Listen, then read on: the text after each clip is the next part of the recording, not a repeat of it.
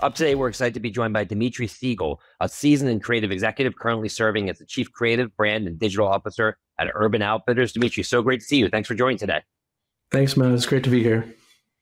Absolutely. I was looking at your background. It was interesting to me because it looks like you had a stint at Urban Outfitters way back in 2006, and you were there for five years, and then kind of going round trip and coming back to the company. Um, talk to us about your original experience at Urban Outfitters and what drew you there to begin with.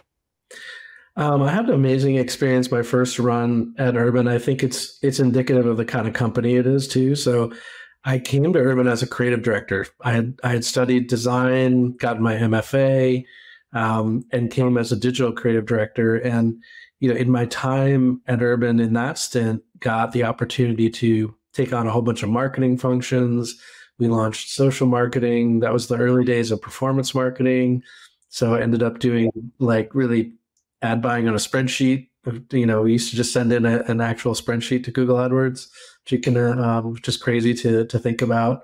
Um, and ended up as the executive director of marketing, so overseeing um, e-commerce business. Back then, there was a catalog business too, um, and the creative. So it's a kind of career opportunity that wouldn't happen at a lot of places. You know, a young person with a design degree, but Urban is such a creative driven company. Um, and they really taught me so much at, at that uh, time in my career and, and unlocked a lot of potential in me that I, I didn't even really know was there. So I had an amazing experience at Urban the first time around.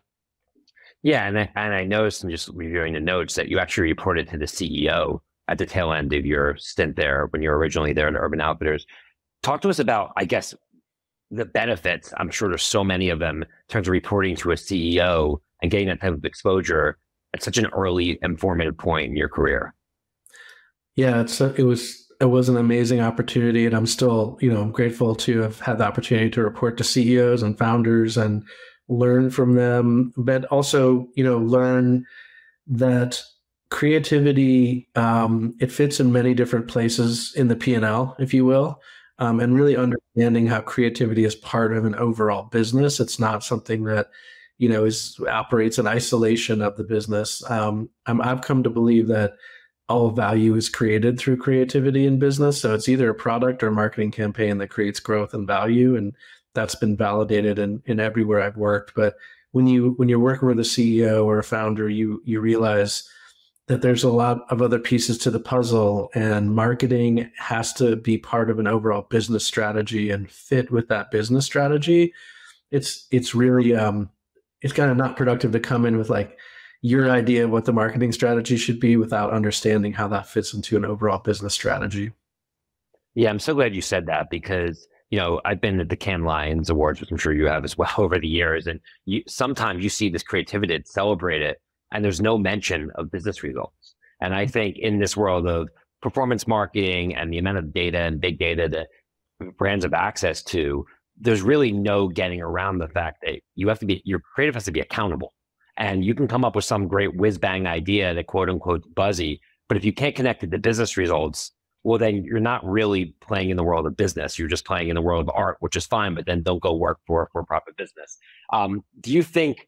I guess has that changed the way that you've approached creative, like having that impact early in your career, where you were able to see the correlation between ideation and creativity and business results has had that as a result changed the way that you look at sort of the creative process? Yeah, I think like like I've been fortunate to work for amazing founders and CEOs who intuitively and in their bones like understand the value of brand and that that's there's a real uh, business imperative, um, particularly with the brands that I've worked on. Um, and to use Urban Outfitters as an example, I mean, there's no question that creativity adds value when you work at Urban Outfitters. Like that, that isn't something that you have to argue for. I've definitely been in other situations where you do have to argue for it, and that is painful, um, for sure. So, so look, I've been I've been fortunate, but the way it changes my um, approach is I've always had a left brain, right brain experience as a marketer. Um, I, I grew up with that that sort of performance marketing revolution even though I had this creative background as a as a design student and an art student before that. Um, and now I think we're at the tail end of that, you know, performance marketing wave. I think it's really it's kind of run its course, but you know, there's always been the sense of the balance and that you have to understand the art and science of what we're trying to do. And because I've also run a e-commerce P&L usually in, in tandem with with running marketing, you sort of like have to connect that into an overall P&L structure and your strategy into an overall P&L structure and not think like, you know, in the abstract, I'd love to do this creative thing. I do think that that is how value is created. So I don't want to underplay the really cool ad that you saw at at Cannes. I think there that probably those things do create value. There's a reason why people do this, but you know that has to be put in the context of like, are we in growth mode as a business? Are we optimizing for profit? Are we about to go public? Are we, you know, there's just a lot of bigger context to what a marketing objective is in that moment in, in a company's life cycle. Yeah, I mean, I totally think cre- creativity, and I agree with your point earlier in terms of whether it's on the product side or the marketing side, creativity is where value is created. I guess my only point is there have been instances where I've been exposed to where it was sort of disconnected from it, and and the whole notion of measuring how that creative drive business results sort of got thrown out the window. And you know, and and I think I, I agree, also agree with you that we then went to a point where the pendulum swung the other way, where it's all about performance marketing. Um, when you say we're at the tail end of, I guess, that kind of momentum swing into performance marketing. Why do you say that? Um, I think that the, you know, it's, it's a sort of an um, observation about the online experience. Um, it's become so pay to play. Um, if you just think about a Google's search results page, you know, where it started, there were three ads that you could buy at the top of that page, and the rest was organic. And now I challenge you to find the organic search result on a Google search results page. And, and that applies to all these quote unquote performance mediums. Um, and so the the ability to break through and the ability to actually connect with consumers that way is becoming just really a function of how much you're going to spend. Um, and so I think that's what one reason it's at the tail end of it. I think also that there's a big disruption happening in big tech itself, where their priorities are shifting you know AI is becoming the north star priority for these platforms and helping us lowly e-commerce businesses you know generate traffic is really not the the primary priority anymore um, and I think what we're seeing is that you need to have great creative. You need to be able to actually connect with consumers for real. Um, and you, you know, in, in a broader sense, those tech companies and those platforms, they were taking a whole bunch of venture capital money and subsidizing all of our marketing efforts with it to, to convince us that this was like these were the greatest advertising platforms in the history of the world. Now, when they have to become profitable and they can no longer subsidize our marketing efforts, all of a sudden it's like really becomes a question about whether that dollar is best spent on a tech platform or a brand activation or you know um, more traditional advertising medium. I think that just sort of the playing field between platforms has leveled out a lot more. Not to mention the changes in, in privacy and cookies and pixels and everything else that kind of create that magic that we saw from, let's just say, 2017 to 2021, 2022, when you had the birth of all these D2C companies, whether it be Warby Parker or Allbirds, you know, these companies that were able to drive dramatic returns for their shareholders because it was incredible targeting in, in a lot of cases violating, you know, some ideals of consumer privacy. So I think as that has and continues to get torn down with the crumbling of the cookie, I think that also takes away some of the efficacy of performance based marketing.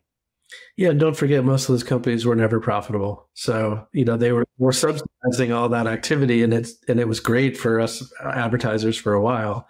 Um, but um, but certainly, you know, when Facebook went public, I think that was the first penny that dropped in terms of how this was going to go. And and I also think like you know, the, there's a, I heard I've heard, been hearing the phrase a lot online. The internet just isn't fun anymore, and I think there is really a shift in the experience of users that is undermining that as a marketing platform for us. And and we as like marketers, we we always have to be adaptive to what the consumer experience is and where they want to be and what's fun for them. And um, you know, I wouldn't say whole cloth that the internet's just not fun anymore, but it's not as fun as it used to be. You know, I, I, think I can definitely say that. Well, we live in such a more de- divisive culture too. I think if you look at any open platform where people could you freely share ideas, so much of it has become political and ugly as well, and that's kind of yeah. taken over the tenor of so much user generated content.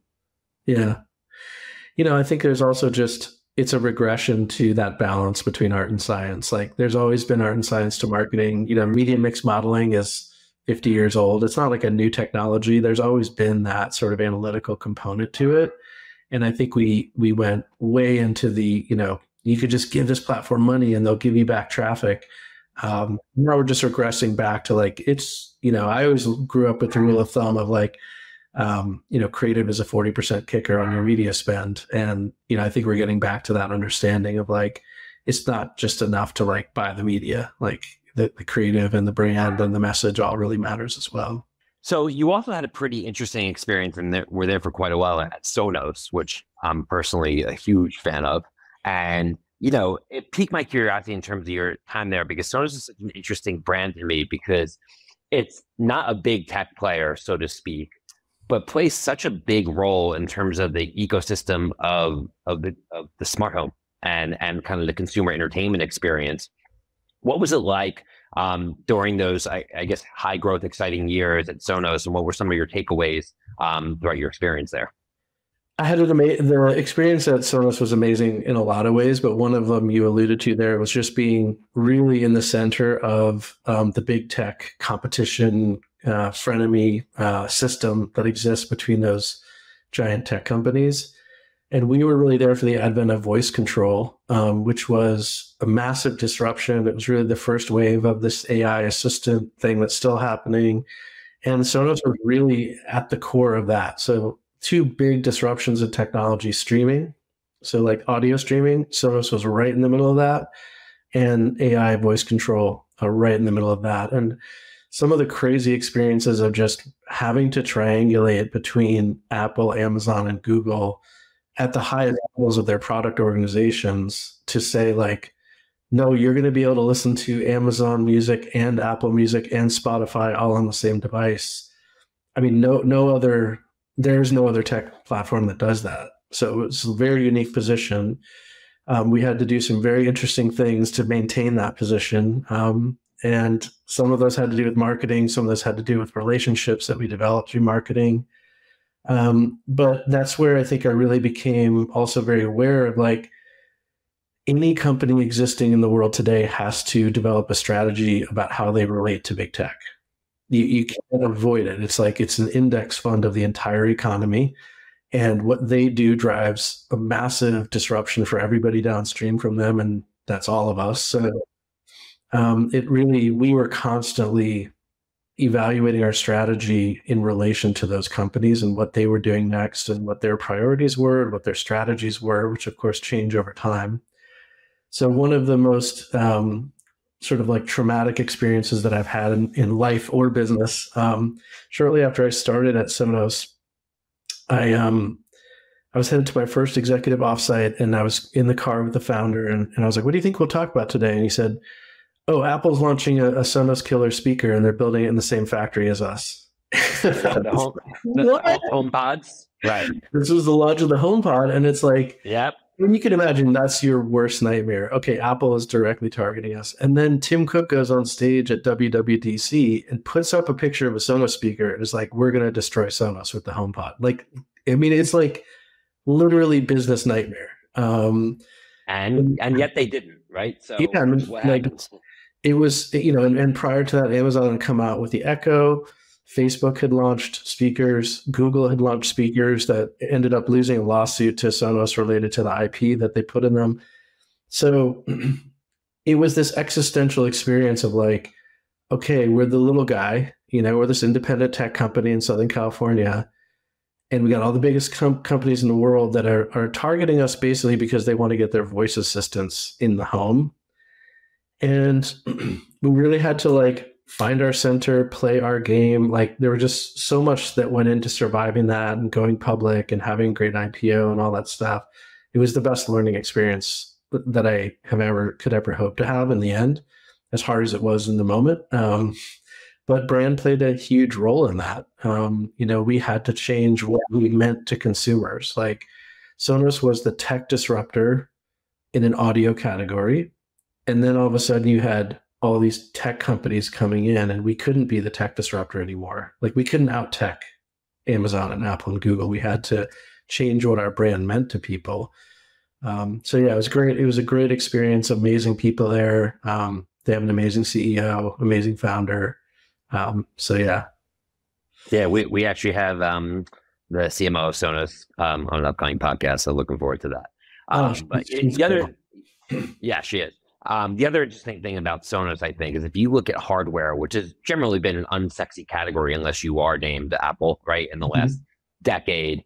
I think one thing that Sonos did or does that other hardware component manufacturers don't is they do they do create good software that's easy to use that creates some type of lock-in effect. Um, where if you look at like your television, you know, at whatever television that you have in the home, you're probably not even using their interface. You're probably using you know, Apple TV or using a Netflix interface or mm-hmm. whatever it may be, because they just aren't good at it. And ultimately, that just means they're a low margin component company that's ripe for disruption. And that's why a company like Vizio could come in and have a lower price product and really disrupt the market. Where I think Sonos, there's an ecosystem where, at a minimum, just the notion of you connecting your Spotify account, you connecting these other accounts to Sonos, and then you having the speakers that are all connected and naming the speakers and setting it up that creates a very high switching cost for them to, you to come in and just get one HomePod device. Like, there's no way I'm going to switch out of Sonos because I'm just too invested in it at this point. Yeah, I mean, they really are predominantly like a software company. They're like 50, 55% software, 45% hardware. I'm sure Deirdre will have another another clever way or better way of saying it. But it's really true. And, you know, it, it's um it's what we they always talked about the fear of being a dumb speaker. Like if you're a dumb speaker, then you could just go buy a seventy five dollar, you know, Bluetooth right, right to the bottom, right? Yeah, absolutely. So and so this year in February, you rejoined um, at Urban Outfitters as Chief mm-hmm. Creative Brand and Digital Officer. So what led you back to Urban Outfitters? Did you ever think that you'd be coming back to work there one day when you left um, 15 years ago? And and and tell us about the impetus behind your return. Um, I I always had an amazing gratitude to Urban um, for what they did for me in my career, the opportunities and education that they gave me, um, the the talent of the founders. So so I was always open to coming back. I would say, um, and another thing for me was like I've had three sort of personal experiences with Urban Outfitters. As a customer walking into um, Store Five in Georgetown seeing the broken glass window, thinking, what the heck is that? Walking in, seeing the display of vintage uh, Levi's. I mean, and then going downstairs into the men's. I can picture every moment of my first Urban Outfitters experience. Um, so, as a customer and someone who was in a band and went to art school, it just, I was like, oh, this is a place for people like me. Um, and I didn't feel like that about other stores. I felt like other stores were trying to sell me a uniform to fit in with everybody else then I then I had this amazing experience in my career, which we've talked about, where I was like, wow, this company is made up of people like me, and they're they're successful, and they're using creativity and all these things that I love to actually win in the marketplace. And then I had kids, and now I have two Gen Z weirdos living in my house, and I'm like, I want there to be a place for them, you know, like I, I really do see urban as filling this place in the culture of you know a shopping experience and and an outfitter if you will for for people who are creative and define themselves against the mainstream. And you know i see in my kids lives they have a lot more options um, for sure than i did but but they still resonate with the brand. They still see it as like different and speaking to them. And so i don't know there's partially like a sense of that sense of purpose and coming back as well as well as just like loving the company and and the people involved yeah, when you described the store layout when you first went there, um, you know, it's very much the same today. But at the same time, you know, no company can be successful and have the staying power that Urban Outfitters has without evolving with the times. So, as much as things have stayed the same, what were the biggest changes that you observed about the organization, either internally or externally, from your first stint there to you returning to the company this year? Um, one internal thing is just the sophistication of the company from a data perspective, platforming perspective. You know, when I left, like I said, it was really early days of digital. We were, you know, we just go in and put up our Facebook page like any consumer would do. You know, um, we again were like doing performance marketing on a spreadsheet and completely disconnected from any other you know reporting in the business. So coming back, I was like, wow, this company has great data, has great platforms um, you know, the the the level of of analytics that are that are possible, I would say is like I don't want to say superior to what I experienced in working for a, a tech company, but like definitely on par. Um, so that was that was one thing. I think the biggest difference um, overall is just that their customer has changed. We have a Gen Z consumer, and you know the millennial the gap between millennials and gen z is really profound. It's a lot like the gap between baby boomers and gen x. There is a generation gap here that i think like it, it's forcing us to really um, really think about our customer much more deeply and really like spend time with them and listen to them and really understand how their points of view on things like coming of age which is kind of the age that's the, the life stage that we service they're really different. They have a really different experience than than millennials and people before them. And we're only going to be successful if if we really are obsessed with who they are and listen to them and, and know them really well. So, you know, the archetype of urban hasn't changed. It's it's really this, you know, brand for that, you know, creative person in their coming of age time. But that person is so different now. So different um, and and that's that's really what's driving a lot of the change and a lot of the, the things that we're doing inside the brand and, and externally. And from a merchandising standpoint, I have to believe that that's not an easy challenge to solve because it's not like you just sell one type of of, of goods, right? Like you, you when you go into urban, there's all different sorts of things you can buy there from record players and records to t-shirts and, and accessories and all sorts of different things. So to, I guess, paint the picture of your new consumer through your merchandising strategy must be something that's quite complex to make sure everything kind of fits together to the genre of who is your current consumer. Absolutely. Urban is, is a very, uh, I describe it as a very thin slice of a department store for a very specific person. It's got every department, it's got men's, women's, home, and then merchandising, which is not not what I do for you know the company, but like I'm I'm in awe of what they do it's really insight based. It's really specific. It's like one thing about this consumer, for example, is they really put a high value on things that existed before the internet. So like we're selling CD players and tape players and vinyl through the like like crazy. And part of that is this it's it's this nostalgia for the past, but it's also but it's also like a value. They think that if something could be important before the internet, then it's really important you know? Like if something's important now on the internet they sort of discount that a little bit like yeah that's just the internet you know that's just tiktok or whatever. So there's just these really interesting specific you know insights about like what drives what they're interested in and and we have a team of amazing merchants that are just all day every day you know thinking about that testing product looking at what works listening to consumers. Um, it's endlessly fascinating. And in terms of effectively reaching those consumers and breaking through the clutter in a way that isn't you know the the performance based more like you know uh, race to the bottom type of activity that we are discussing earlier but but instead focusing on outreach and content that really adds value to the lives of your consumer. What are some of the things that you have your eyes on um, in terms of things that are working or that you want to be doing more of? Well one of the things is um, one of the things we've heard in all of our conversations with all of our consumers every segment is that they they shop vintage. Um, that they they love the experience of vintage. It's something that Urban Outfitters has always had. Like I said, when I walked into the store, you know, in Georgetown all those years ago, vintage Levi's was the, I remember the very first um, merchandising display. So it's always been a part of our mix. Um, I think that we got fragmented in how we presented that to the consumer, and we didn't really stand for it as something that you that was part of the Urban Outfitters experience. And so this month we we did a big relaunch of that under the Vintage and Remade banner. We brought together all of them. I mean, we have an incredible team in Los Angeles that sources one of a kind vintage and also does these amazing remade projects um, where they'll take dead stock or other items and, and make you know current items out of those. They collaborate with artists to do that. Um, so we're putting a big push behind vintage and remade because it's something that we're hearing from the consumer they're really interested in. Similarly with music, like we were talking about, music has always been a part of the Urban Outfitters experience. We're, I think, the second biggest vinyl retailer in the United States, and certainly the broadest assortment. So the, the biggest ones would be those major retailers selling millions of copies of the Taylor Swift's, you know, CD. Or what we're doing is a much more broad, you know, we just had a exclusive one of a kind vinyl release with Billie Eilish. We do a lot of exclusive vinyl releases. Like I said, we're we're leading the way on the CD trend, which blows my mind. So music is another component of, of that we're leaning into.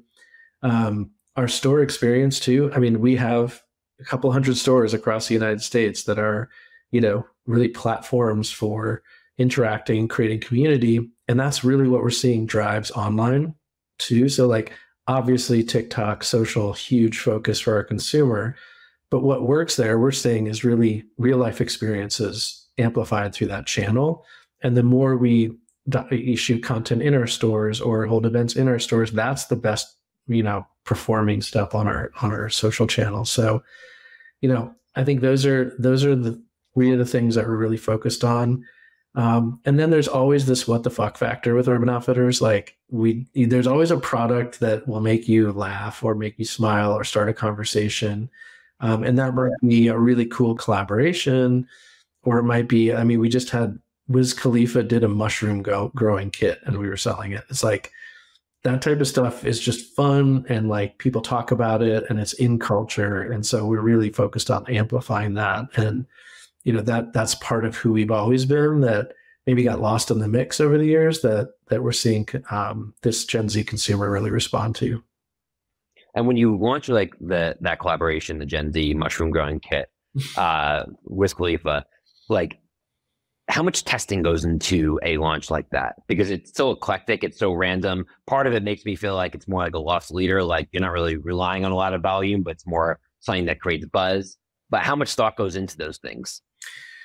again this is that's a merchant driven um, process that is it's an art and science just like marketing like there's so much research into you know what might be coming down the pike and then there's iteration and testing so i'll give you another example like we do incredibly well with these Sonny Angels um, small figurines so then the merchants are like, you know, well, what other small this, this so what people like about it is that it's this figurine, they can carry it around, it's like a totem, all of them are different.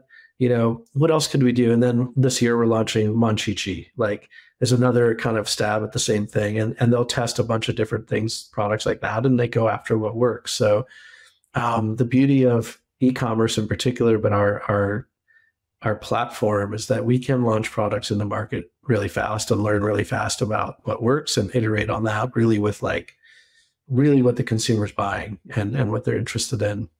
But but a lot of the stuff like the mushroom growing kit, like I wouldn't say it's a loss leader, but it's definitely um, our founder Dick was telling me like you know they put wind up toys in the front of the very first store. Like that was there from the very beginning because he's like people would come in. First of all it wasn't it wasn't intimidating. Like do i go to the men's section or the women's section or are they going to judge me for what i'm wearing? Super not intimidating. Go in there you play with these wind up toys you get relaxed you sort of have fun and you're smiling and you're laughing. It just sets the tone for the for the experience. So i think that's it's um it's part of the overall like fun of shopping and i think that's like one thing it's easy to forget like the Roman Forum was part entertainment. You know, it wasn't just a place to go and like get goat's milk or whatever. It was like partly a thing to do on a Sunday, you know? Um, yeah. I think Urban's always been really, really good at that part. And, and part of it is this, a huge part of it is the merchandising strategy. Absolutely. And speaking of merchandising, uh, another area of the business you oversee is Urban Outfitters e-commerce business.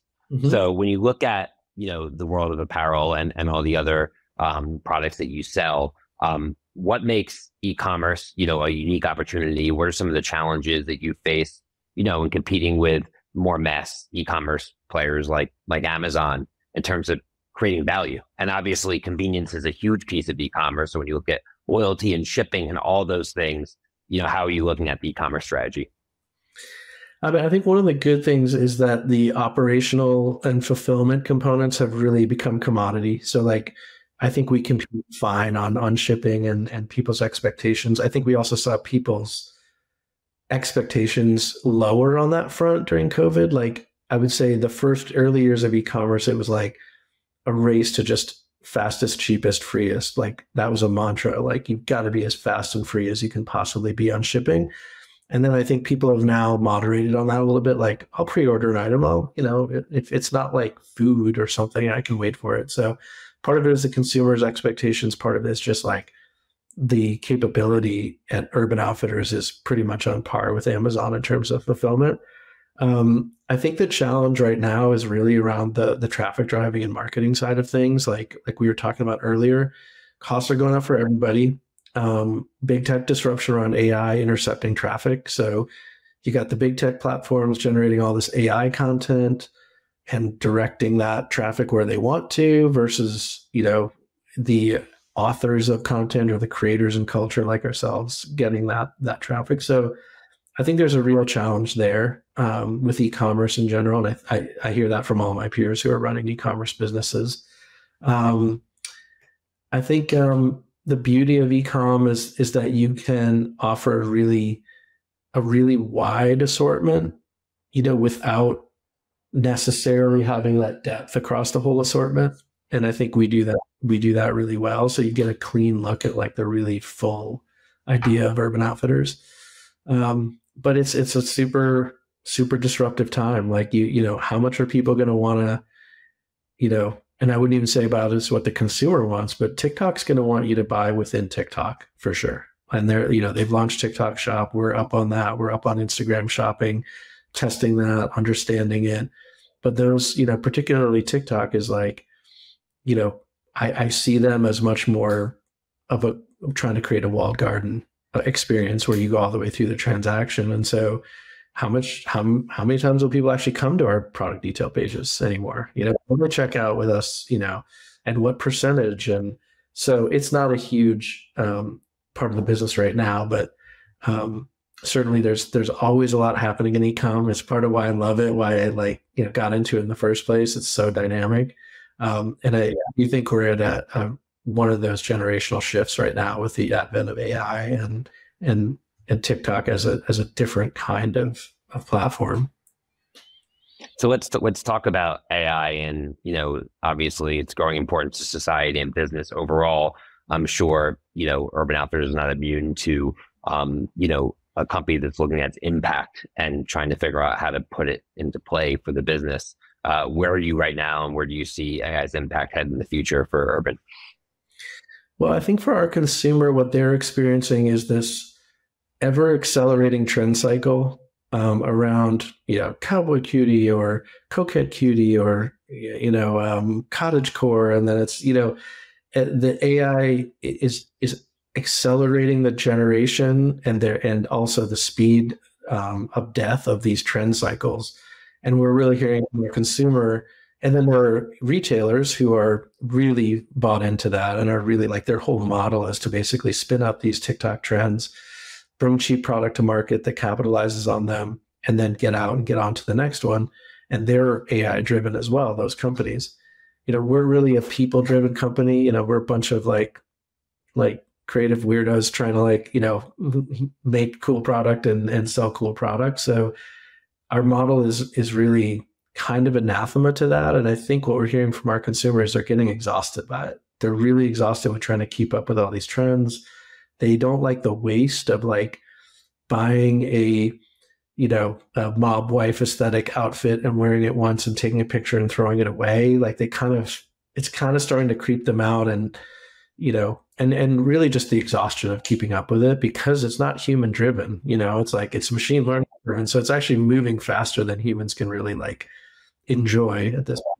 So i would say that's the biggest impact on our on our business right now and and and where we're really having to listen to our consumer and position our brand in a really in a way that's really relevant to them to say like we're about your personal style like not about manufacturing tiktok trends.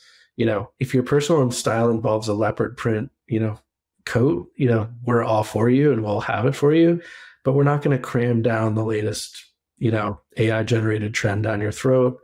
We're not expecting you to like have a disposable approach to to your to your aesthetic and your personal style. Um, but AI is really impacting us there. I would say, in the positive sense, like it as a tool within the creative process is really interesting and actually like has some really positive benefits even for the environment where we're able to design samples and create you know first first versions of things without having to get product shipped from China back and forth or, or from uh, different um, factories around the world. So there's ways that it's really helping us on the empowering creativity, a human creative person trying to get a bunch of versions going and stuff like that.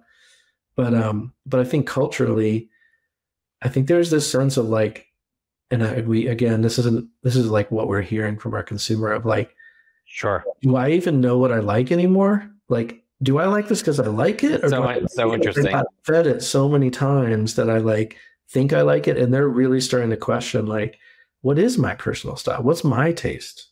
How do I how do I yeah. define my own self in a world where, look, every every generation has to answer the question, who am I? Right. Right. There's never been a generation that's that has is being force fed more answers to that question we had to go out and seek it and find the answer to who am I. They're getting bombarded with like, this is who you are. No, this is who you are. It's this trend. It's that trend. This is cool. That's cool. Um, and so I think we play a role in sort of like really building a community where like they can answer that question for themselves. Yeah. And I think that to your point earlier, that your physical stores gives you a distinct advantage because there is this notion of authenticity and discoverability that you can't really get with e-commerce, just having an e-commerce platform. So, you know, that's a huge part that's central and core to the brand that because that experience is different. It, there's no ifs, ands, or buts about it. When you go into an urban, it's unlike any other store. And I think being able to hold on to that will allow you to kind of carry through that sense of uniqueness online as well. And that's coming through in the in the data too. The uh, Business of Fashion published a, a, research study about that, that Gen Z is high, much more highly likely to want to shop in a store than millennials. So they are also having that shift back to to physical retail. Interesting. Cool. So shifting gears, uh, as we wrap up here, you know, you've had a, such a cool career and obviously in a great role um, at an iconic brand, Urban Outfitters. When you look back on your career journey, um, and we talked about Sonos and and you know you we, we didn't even get a chance to touch upon um, your stint at Patagonia and you and you've worked at so many cool places throughout your career. What are some of the decisions that you think you've made right along the way to set yourself up to be in the seat that you're in today? I guess there's there's three things I would say. One is uh, look for tailwinds in the economy.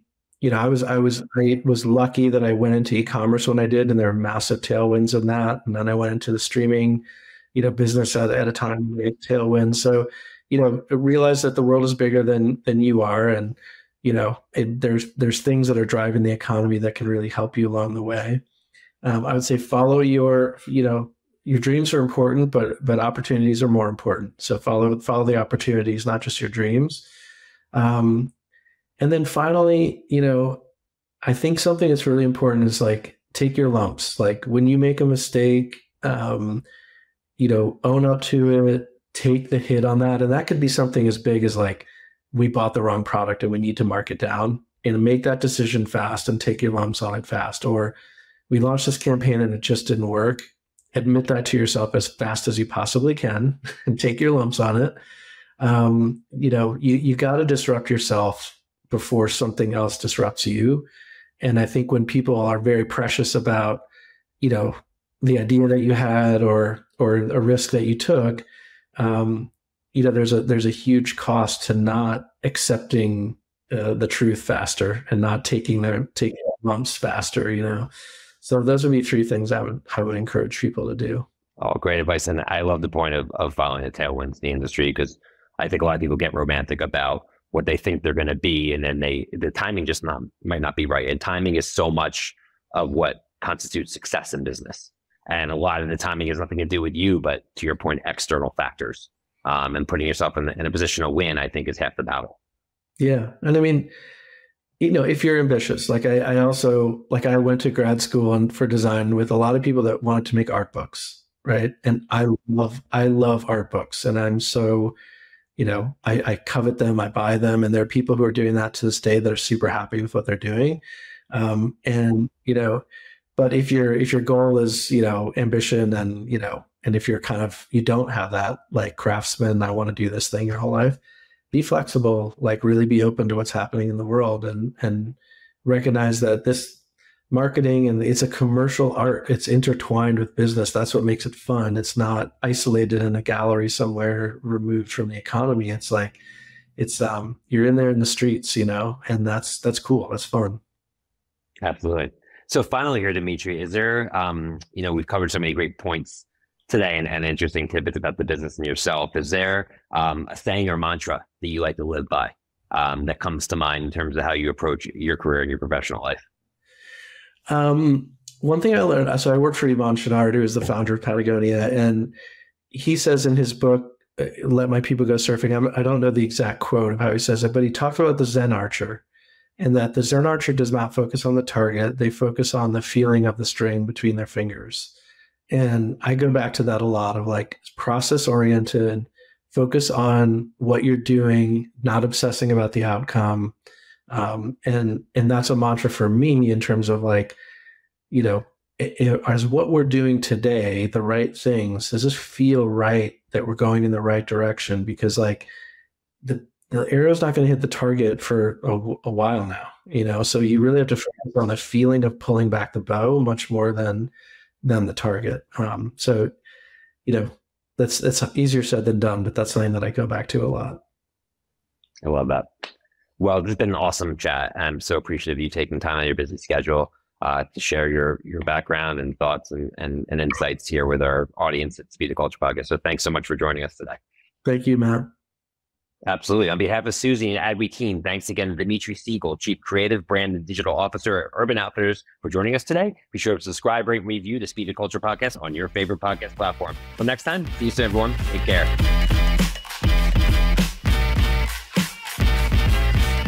The Speed of Culture is brought to you by Suzy as part of the Adweek Podcast Network and Acast Creator Network.